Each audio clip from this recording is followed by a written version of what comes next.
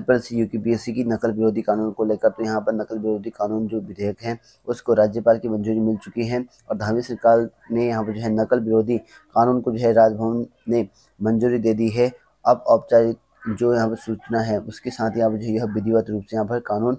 का रूप ले लेगा। तो कानून का रूप अब विधिवत रूप से लेना है और विधानसभा जो है मार्च में हुई बजट सत्र में सरकार ने जो है प्रतियोगी परीक्षाओं यानी कि भर्ती में अनुचित संसाधनों की रोकथाम और निवारण के उपाय, यानी कि विधेयक दो लाई थी और करीबन जो है पर महीने भर तक जो है विधेयक का जो है कानून परीक्षण करने के बाद से राज्यपाल लेफ्टिनेंट जनरल सेवानिवृत्त गुरप्रीत सिंह ने यहाँ जो इसकी मंजूरी दे दी है। जल्द ही इसकी अधिसूचना यहाँ पर जो है जारी कर दी जाएगी और सचिव राज्यपाल रविनाथ रमन ने यहाँ पर जो है, सचिव और राज्यपाल रविनाथ रमन ने यहाँ पर जो है बताया गया कि राज्यपाल की अनुमति के बाद से यहाँ पर जो है विधेयक को विधिवत यहाँ विधायक से भेजा गया है।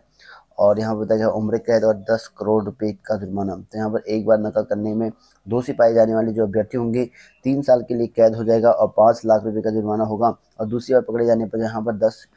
साल का कैद होगा और दस लाख रुपये जुर्माना होगा। और संगठित जो आरोप है, यहाँ पर की दशा में उम्र कैद और दस करोड़ रुपये की